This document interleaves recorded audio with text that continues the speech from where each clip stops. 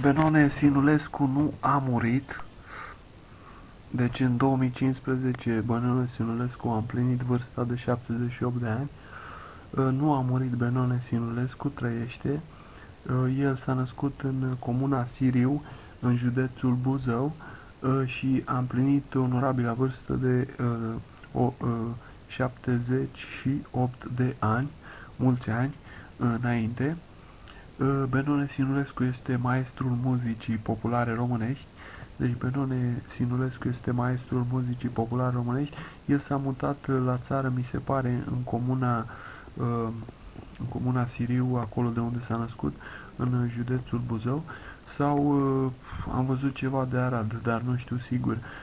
Așa, din informațiile pe care le am și eu, și Benone Sinulescu a fost este maestrul uh, muzicii populare românești cu foarte multă uh, el a cântat cu foarte mulți cântăreți uh, renumiți de valoare din, din, din repertoriu din repertoriul popular a cules multe melodii de, de foarte mare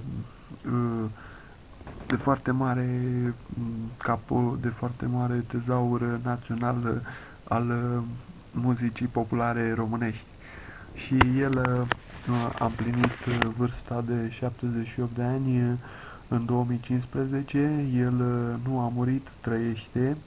Deci Benone, Benone Sinulescu trăiește, trăiește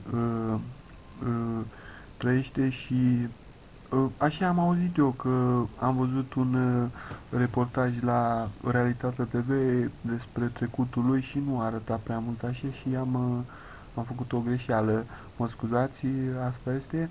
Și Benone Sinulescu este, este unul dintre cei mai mari cântăreți de muzică populară din România și el are și vârsta de 78 de ani, nu a murit, trăiește și este foarte, foarte, cum să spun eu, foarte fericit la onorabilă vârstă de 78 de ani.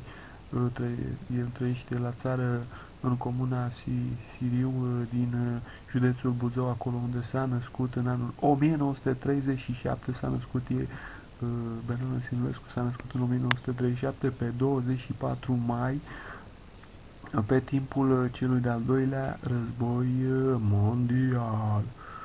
Acolo, acolo război, război mondial pe el l-a prins într-o într-o zonă de munte și el nu a avut, să spun așa, mari repercursiuni asupra copilăriei lui și tocmai de aceea o să mă uit la Benone Sinulescu dacă a cântat și melodii de război.